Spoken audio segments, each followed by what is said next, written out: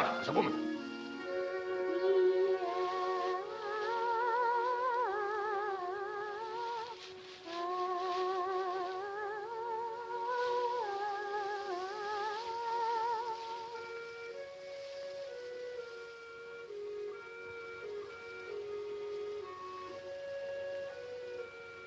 German.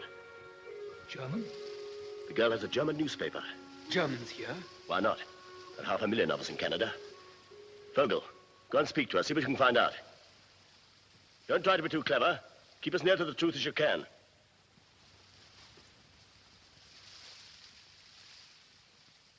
Hello.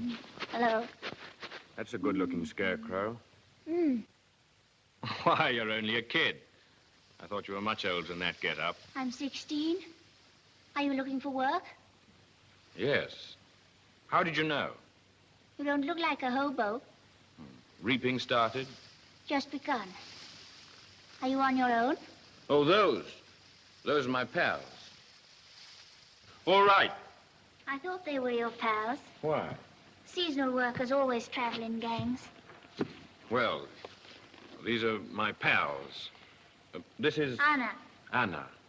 She's 16. it isn't true. I shouldn't lie. I shall be 16 the day after tomorrow. Well, it's only a difference of two days. Yes, but Peter says there's no difference at all between a small lie and a big lie. Who is Peter? Our leader. Oh, so you have a leader? Yes, a wonderful leader. You'll meet him. Aren't you coming to the settlement? There isn't another for eight miles. I told her we were looking for work. We should be glad to, but uh, there are four of us. Don't worry. When 111 people sit down for supper, four more won't make any difference. Did you say 111? 39 brothers, 47 sisters, and 25 children. Hmm. What are you? Mormons? Mormons? No, Hutterites. I didn't mean we were all one family. We're only brothers and sisters in God. Hurry up, boy. You are a slow boy.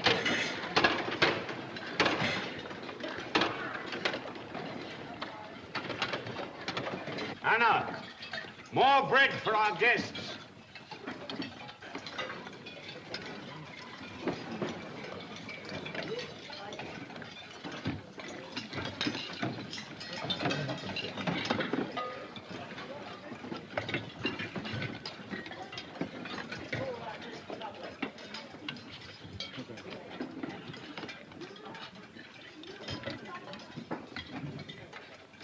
We're sorry about the bread.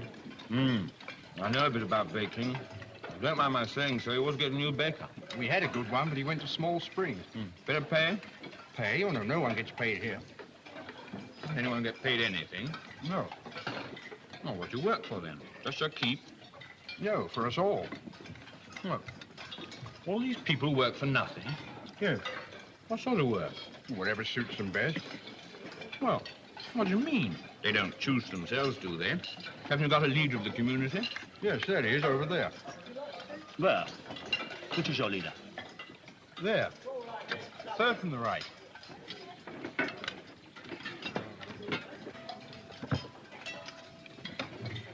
Well, doesn't he tell the people what sort of job they've got to do? Oh, no, we tell him what we want to do. And how could he be your leader? How do you mean? Well, anyone works at whatever job they like, then. Yes, that's right. If somebody can make shoes, he makes shoes. If he wants to be a blacksmith, he works in the forge. If somebody feels he can preach, well, he preaches. Oh, what's your specialty? I'm the baker. When you sell your stuff in Winnipeg, what happens to the money?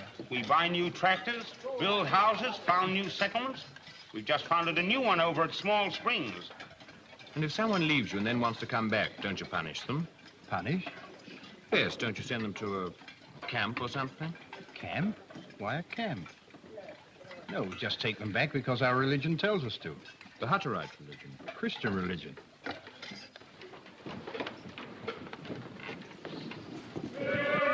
Is it one of your rules to sing like this? We haven't any rules. We sing because we like to. It's good for the digestion. Good night. The leader will look after you. Thank you. What's the salute? The what? Don't you give the leader a salute?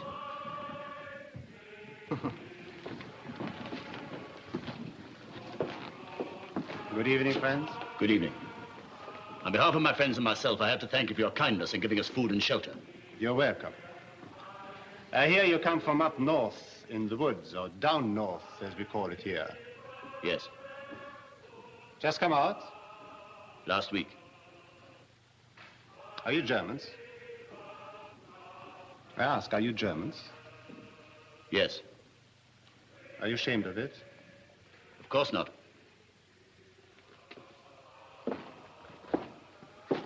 I'll show you where to sleep. Thank you. Most of us are Germans. You may find some from the same part of the old country as yourselves. Anna, I thought you would have told them all about us. We mostly discuss birthdays.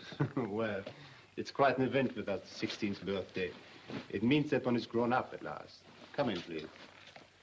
This house belonged to Hugo Waldner, one of our brothers who's gone to the new settlement. At Small Springs. Yes. You see, we are like bees. If we get too many, we set out to swarm. So the house is empty and at your service. Good night. Sleep well. Good night.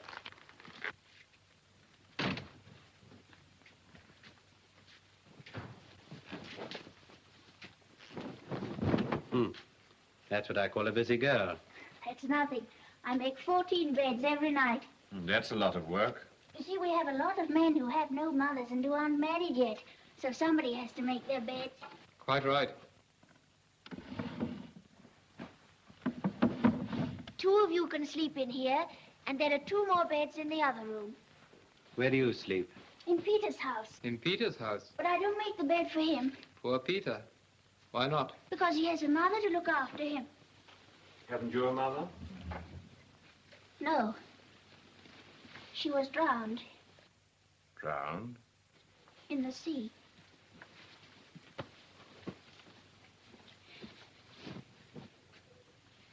When we left Germany, we went to England because we had to wait until we got a permit to come to Canada. We got our permit after war was declared. Was your father with you? Wait a minute. I want to hear about her mother. Her ship was sunk. Torpedoed? I think so. Don't you know? Was there a big explosion? Shut up, you two. You and your questions. Don't answer them, Anna. Oh, leave that. Run along now. I'll take her home. All right. You take her.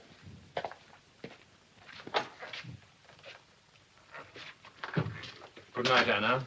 Good night. Chins up. Remember then, do nothing without orders. Discipline is more important now than ever. So far, luck has been with us. It's a great stroke of fortune being here at all. Do you think they're friendly, Herr Lieutenant? Friendly? Yes. But you saw how their leader tried to draw us out. Are you Germans? Are you ashamed of being Germans? That in a country with which we're at war. There can only be one answer to that. Our agents have done their work well. Yes, this religion may be nothing but a cover. I bet they sing the Horst Wessel song better than hymns. We shall see that tomorrow. Heil Hitler. Heil Hitler. Shut the door.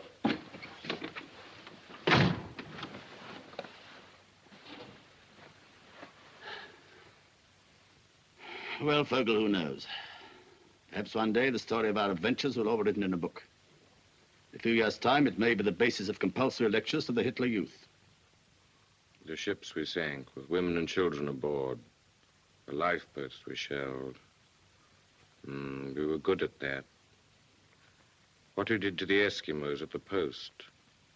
The unarmed men we shot in the back. You forget, Vogel, we're at war. You can't expect to win without the methods of total warfare. Men, women, and children, they're all our enemies and must be treated as such. Did you never read what Bismarck said? Leave them only their eyes to weep with. Leave them only their eyes to weep with. Did he say that? Those were his actual words in the War of 1870. You should study Bismarck. He was a great German. A great German. You know, Vogel, I'm worried about you. You're a good fellow, but you don't discipline yourself. You give way to emotions. That'll land you in trouble one of these days. Why don't you take an example from Kranz? A fine, soldierly fellow. You could be just as good a Nazi as he is if you tried. Are you listening, Vogel? Yes, Herr Leutnant. Then think it over. Yes, Herr Leutnant. And get out of bed and turn out the light. Yes, Herr Leutnant.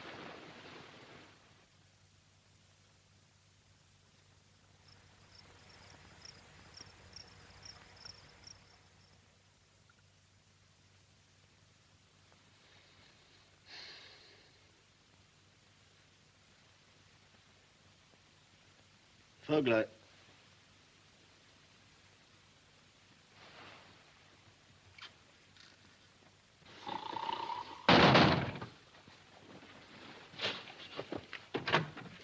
Herr Leutnant? Either of you seen Vogel? No, Herr Leutnant. Well, get dressed at once.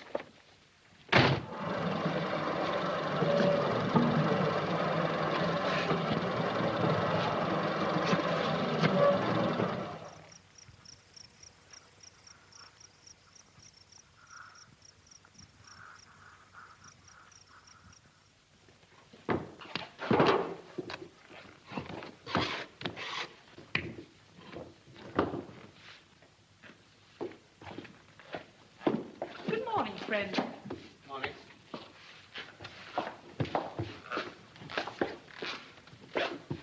He's asking for you. Huh? All right. Well, aren't you going? I can't go till I got this lot ready. What shall I tell him? Oh, I'll be along in a minute.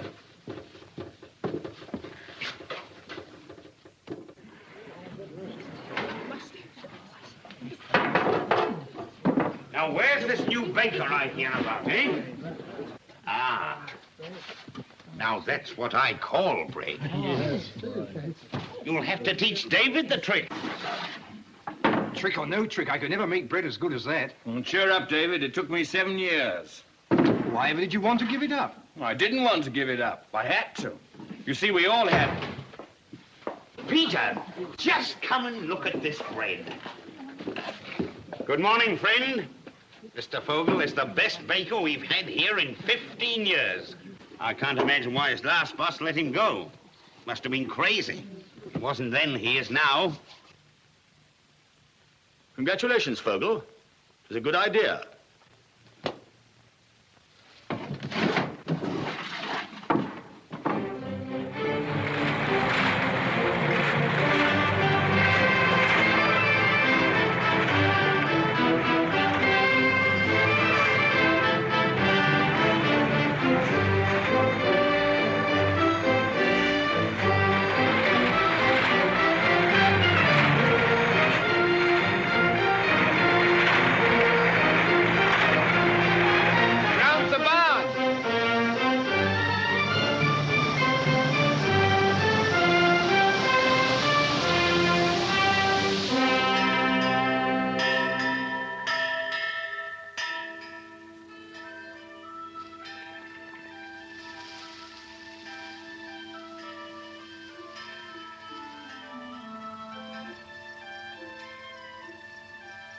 What's the news in Winnipeg?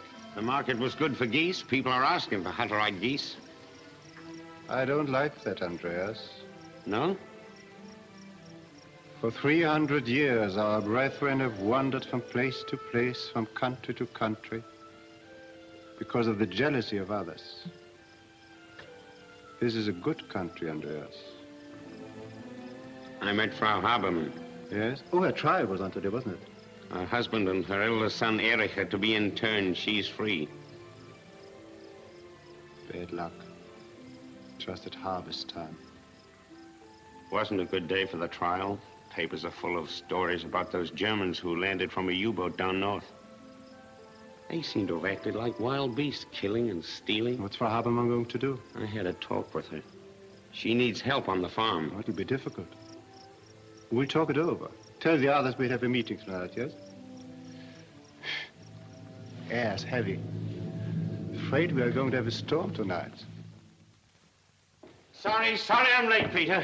Barbarina, there's an electric storm playing all around us, frightening the animals and your chickens. Move over, Philip. What about you, Anna? Andreas, one of our guests is speaking. Eh? What? Oh, good. We were discussing the Habermans. I was about to say, you have one clear choice. Where there is a question of blood, where one is governed by the deepest of racial instincts, then every other consideration is swept aside. Men like yourself, German or of German ancestry, rise up with all the might and power of the great German people behind you, conscious of the sacred duty that binds us all together, and in the knowledge that he who does not forget his people will not by his people be forgotten.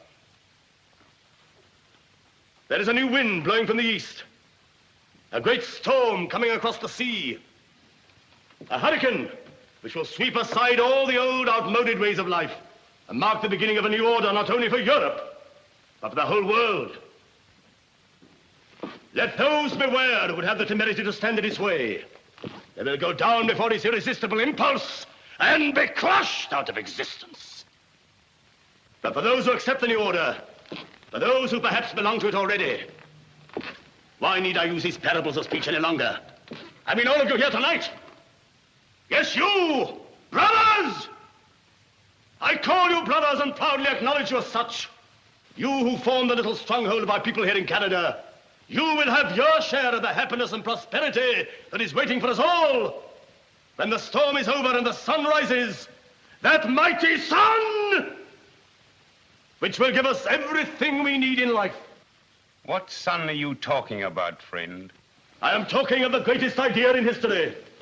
The supremacy of the Nordic race, the German people. I am talking of the being whose name I am certain lives in every heart, whose name hangs on all our lips. Whether we can shout it to the world or only whisper it in one another's ears. Germans! Brothers! I ask you to join with me in paying homage to our glorious Führer. Heil Hitler! Heil Hitler!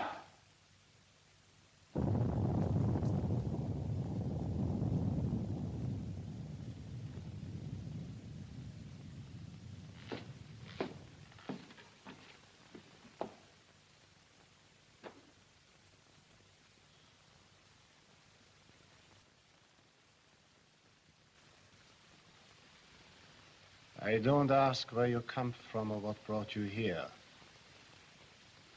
Although you've left us in no doubt as to your beliefs. Someone has given you, no doubt deliberately, a completely false impression of us. We are only one amongst many foreign settlements in Canada. There are thousands of them in this part of the world. And they've been founded some recently, some 80 years ago, by people who left their homes in Europe because of famine, because of starvation, because of racial and political persecution, and some, like ourselves, because of their faith. Some came only to find new land, new boundaries, a new world. But all have found here in Canada the security, peace, and tolerance and understanding which in Europe it is your Führer's pride to have stamped out. You call us Germans. You call us brothers. Yes, most of us are Germans. Our names are German, our tongue is German, our old handwritten books are in German scripts. But we are not your brothers. Our German is dead. However hard this may be for some of us older people, it's a blessing for our children. Our children grow up against new backgrounds, new horizons. And they are free. Free to grow up as children. Free to run and to laugh without being forced into uniforms, without being forced to march up and down the streets singing battle songs. You talk about a new order in Europe. The new order. Where there will not be one corner, not a hole big enough for a mouse, where a decent man can breathe freely. You think we hate you, but we don't. It is against our faith to hate. We only hate the power of evil which is spreading over the world. You and your Hitlerism are like the microbes of some filthy disease, filled with a longing to multiply yourselves until you destroy everything healthy in the world. No. We are not your brothers.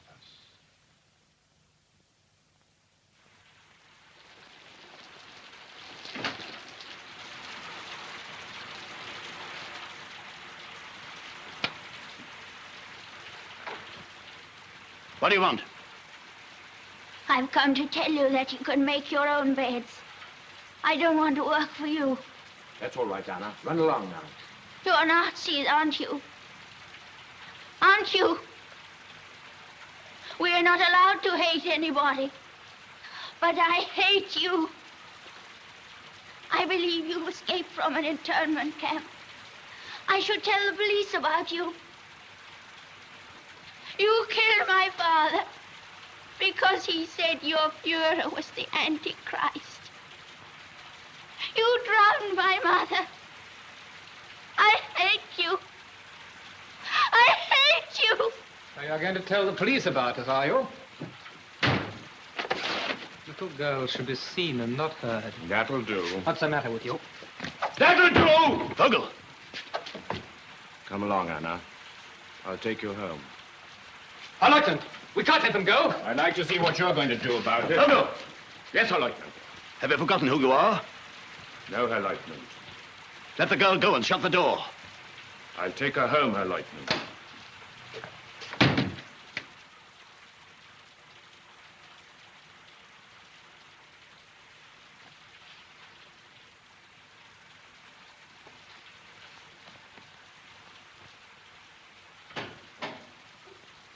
That you, Anna? Yes, Peter. I brought Anna home.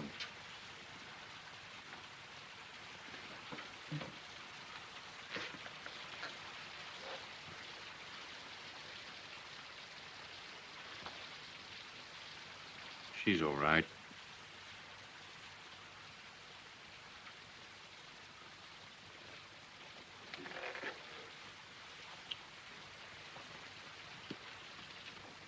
We're going now. Perhaps in a few minutes. I only wanted to say that you've been kind and I like it here. You like my bread and I like the way you live. Being with you has made me feel like it used to be at home. I'd almost forgotten what it was like. Baking bread, doing my real work. That's how it used to be seven years ago before everything changed. The life I've been living seems to have no sense in it now. Well, I'd better go now. Please don't go.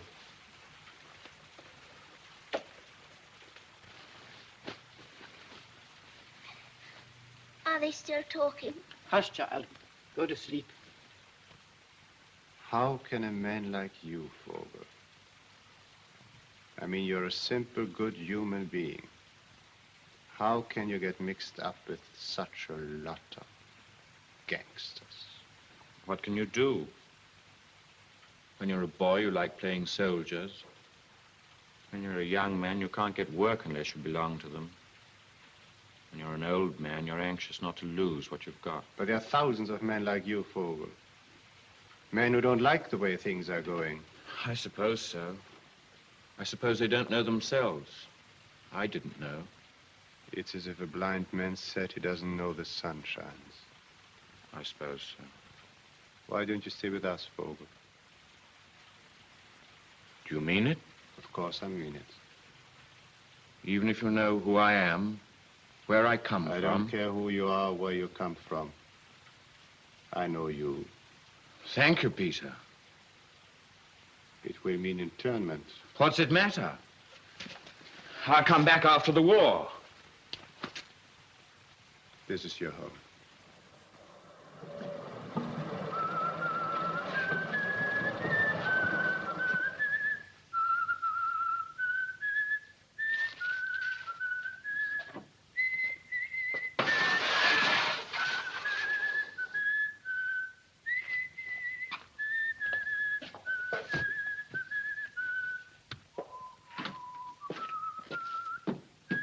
Room Officer Vogel.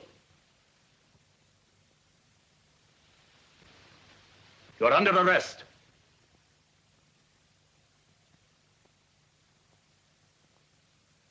You're accused of desertion and treachery to the Third Reich. In the absence of a properly constituted court, I assume authority as your superior officer and sentence you to death. Have you anything to say?